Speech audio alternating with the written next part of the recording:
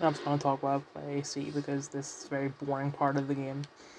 Uh, this the same thing happened with Wrath of the Druids, but in Siege of Paris there is this mission where you unlock this thing with like wee tiny uh replayable side quests where you have to travel a long way, like when you have to travel two thousand meters uh just to pick up something and travel all the way back uh, to unlock a little tiny portion of the next level. Like, level, I'm on level 3.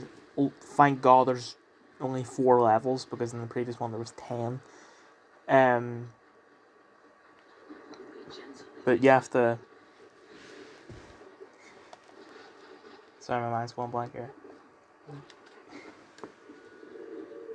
So you do these 12 tiny little missions and then you go every time you complete a mission you go up a wee bit in what they call infinity uh, uh,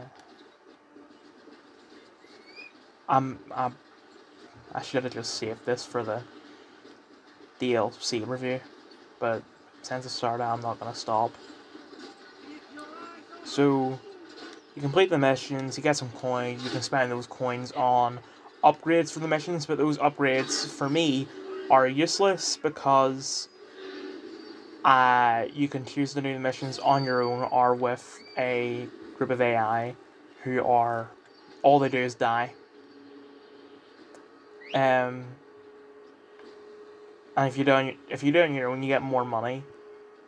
Well, you get the same money if you do it with a group of people, as long as everyone lives. But nine times out of ten, uh, at least two of them die, like out of three. So I'm doing on my own. And the, the, the upgrade that you buy of the coins, they are ex- almost exclusively for uh, the AI, like upgrading their swords and all. So, yeah.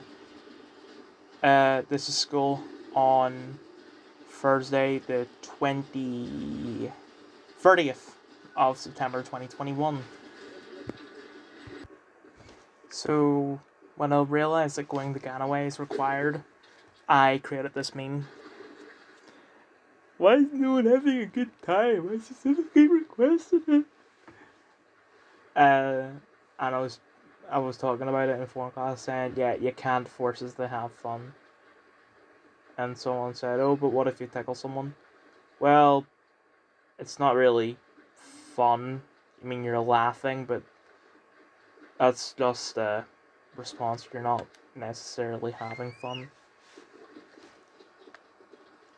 Uh, fun fact tickling is actually a very minor pain, and laughing is a very minor reaction to it.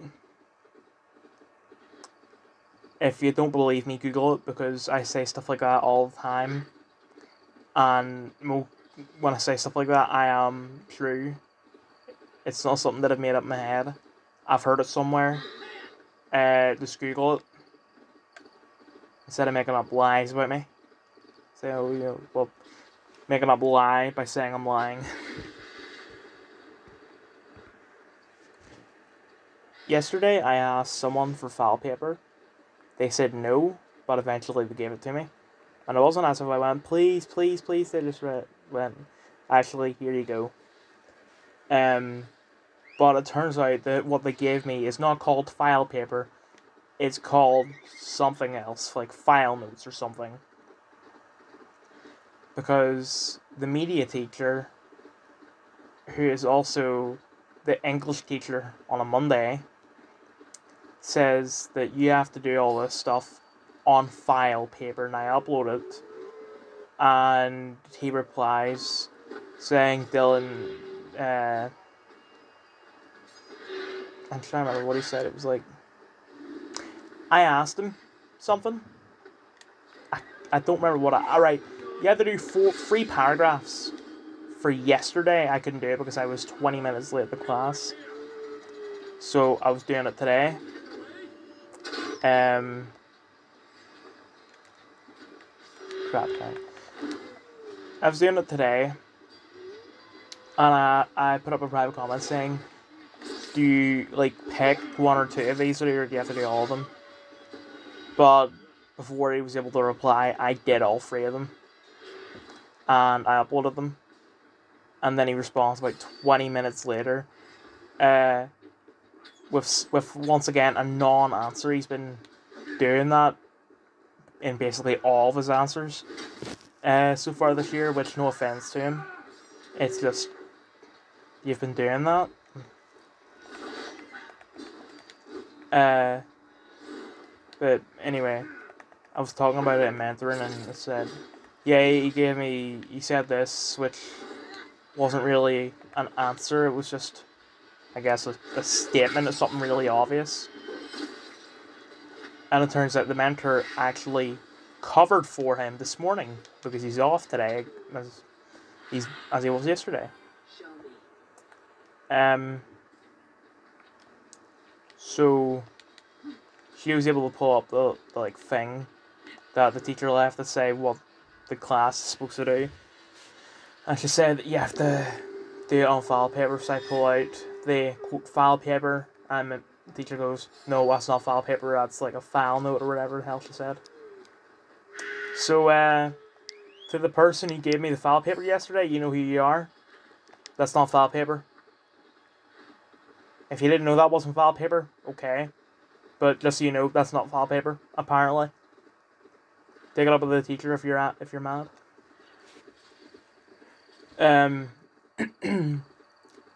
she also said to me that like I, I told her about what happened with Ignite and the Dylan Step Away Now.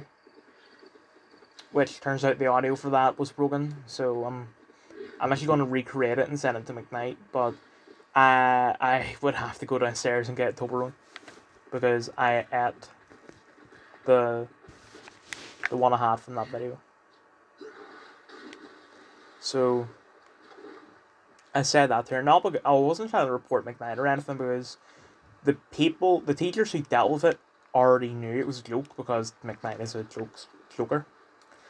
Um, uh, joker reference, very funny. Uh, whatever. But that's that wasn't why I wanted to talk about it. Why I wanted to talk about it with her is because who was she talking to? We do not know. She hasn't given an answer. And we cannot stop the thing if we don't know. Right, if you tell someone to stop, and they're doing a bunch of different things that are all. In fact, straight up metaphor, I'm, I'm just going to say it. We can't stop if we don't know what we're supposed to stop. Anyway.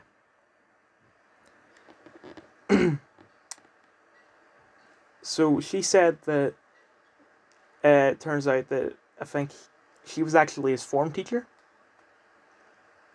and sent a selfie of himself photoshopped into Mr. Smiler, I think. Uh, so. And then he also said, Miss, I want to join the Irish Republican Army. That's a very good career choice, McKnight. And that was the end of that conversation. So, yeah. And then it turns out that because the media teacher isn't in today, the study teacher was going to cover. Despite the fact that that didn't really mean anything, all I meant was that it was technically a study period. Because I didn't do my media work in the media session, I guess you, you could call it. Because I was told, yeah, these paragraphs you did this morning, they're fine, but you're going to have to rewrite them on file paper, which I did next McKnight who we kept on distracting each other. Um,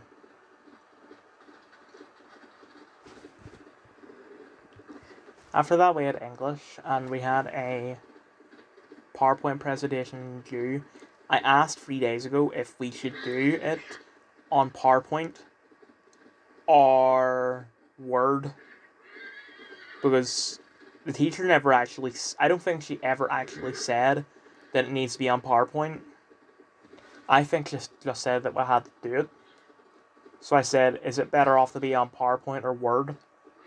Uh, it turns out PowerPoint because we have to present it locally. It's a small class, and we don't have to stand up in front of the class. Um, I had done nothing of it because the teacher didn't respond, and I was busy doing media work and uh, getting caught up and all. So I said, uh, yeah, crap, I didn't do it. Oh, um, I was the only guy in the classroom because one of them is off for some reason. The other one, it apparently intentionally stayed off because he didn't want to do the presentation. So if that guy is watching this, hi. I, I don't really want to say anything mean about you. the hell was that? Anyway. So, uh, the teacher was talking to two year 14s for a long time, at least 10 minutes. So, so eventually people, you know, the people who were waiting said, oh yeah, Dylan, you could do it right now. So I, I would uh, go on Safari, search up how to write an essay in five seconds. I wasn't even able to word it correctly, and as soon as I hit enter, the teacher walked out. And I had to quickly close the iPad so it didn't look like it was like doing the thing in the middle of the class. So she was she remembered that we had to do it. And I was like, oh crap. Uh she had to step out again. I went, right, I have to write this. And I wasn't able to find much. I was able to find two websites that actually had stuff on it.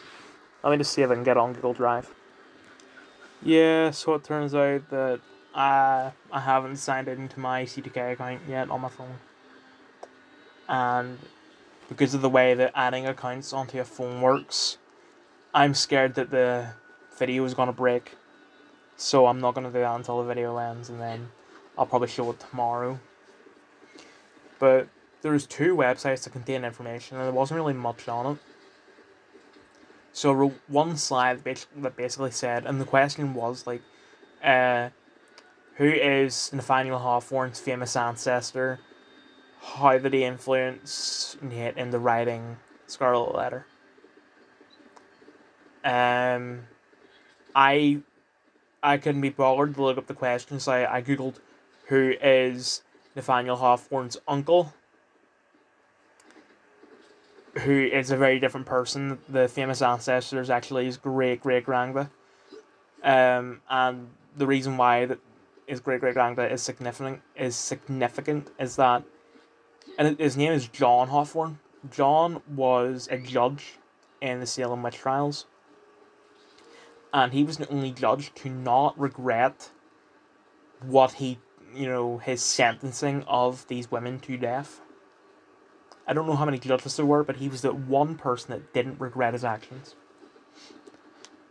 So his great great grandson learned that that that happened, and it inspired him to write the Scarlet Letter. I wrote that on one slide, and I asked someone who completed the work, "How many slides do you have to do?" They said four. So I said, crap. Uh, and I basically split it down into three parts because four slides really is a title card and three slides of information. Um, so I wrote on the first slide uh, that John Hawthorne is a was a judge during the Salem witch trials, the only person to not regret his actions. The second slide I wrote Nathaniel is his grand great great grandson who learned that this happened and was inspired to write the Scarlet Letter. Or no. All I remember is that in the last slide, I wrote that only Judge did not regret his actions. I thought, this isn't good enough, I need to do something. So I quickly took the screenshot I had of John uh, and sort of drew like eyebrows on him to make to make him look angry. But he didn't look angry. So I say, oh screw it, I'm just gonna put that in. And like sort of type a speech bubble saying they deserved it or something. If I, if I can't be factual, if I can't add enough, I'll just try and add humour to it. But I'm not a funny person. So I think what I'm gonna do is I'm gonna do a, a different question. There's five questions. I picked the fourth one. I can't do the fifth one because it's too hard. It's the hardest of them. On that might be a good thing because it means I have more more to cover. Uh, it's supposed to be that we were all supposed to do one uh, each.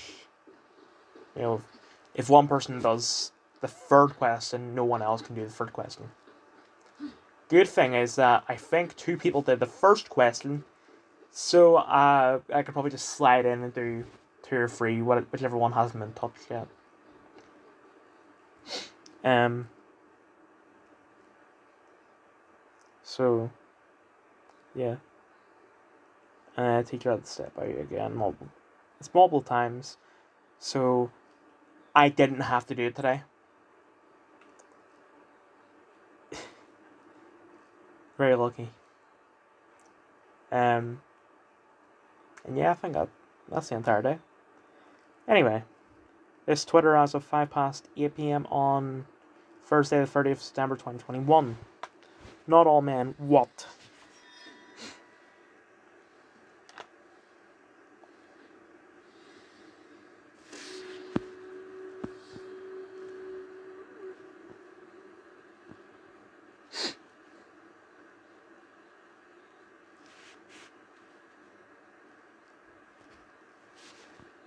Once again a bunch of crap.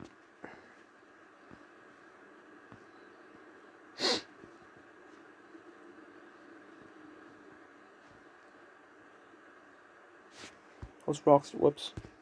What's Rockstar doing? And stop giving me articles with Salt Bae. Salt Bae was like four years ago. Alright. Yeah, I'm not buying it. The the 3D trilogy is unplayable. Like they're good, but they're unplayable. So nope, not buying it.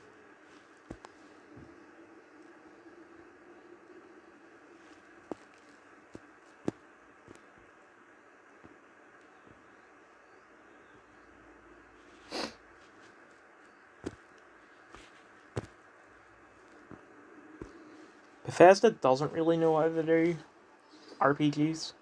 Because here's the thing about Bethesda, yeah, they're big. Yeah, they have a lot of content, but they're they're not full. Right? I'm trying to think of a metaphor, but I just can't think of one. If you take Skyrim and you take The Witcher, they're both massive, both a lot of stuff in them.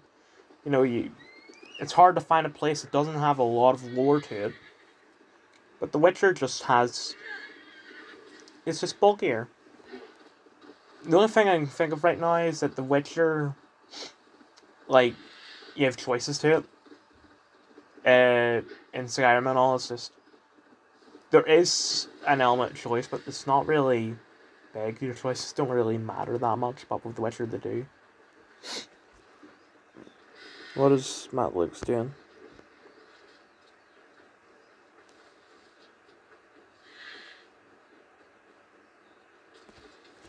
I'm honestly surprised that the LGB Alliance hasn't been cancelled yet. Because, like, when it comes to society, society sort of prefers transgenders over uh, lesbians, gays, and bis. So I'm just dumbfounded by the fact that they haven't been cancelled yet. And I say yet because it's a definite that they will be cancelled.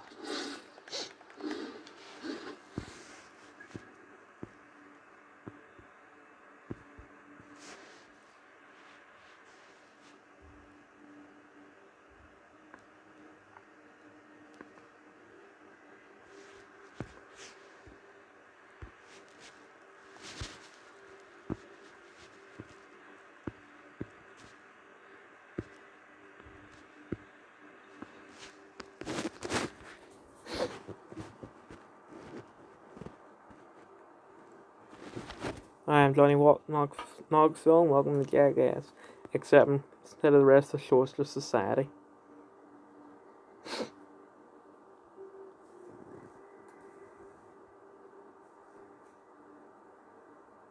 Why do you follow me? I don't because you're a communist piece of crap. Stonetoss profile picture opinion discarded. Bro, I don't care if this isn't based, but as Jewish person, I want to physically harm Stonetoss.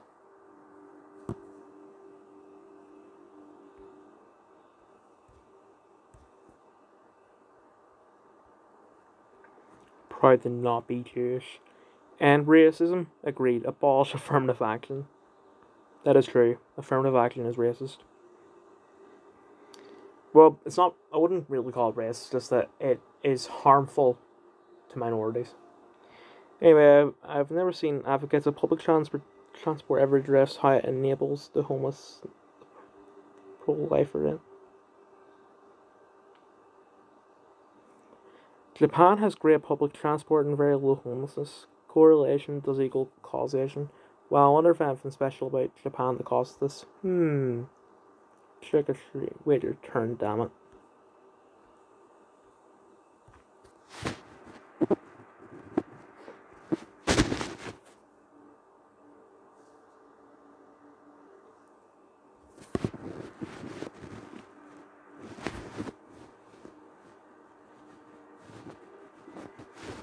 Simon Selwood was also ordered to pay 128 pound victim surcharge and a total of 1000 in costs and compensation.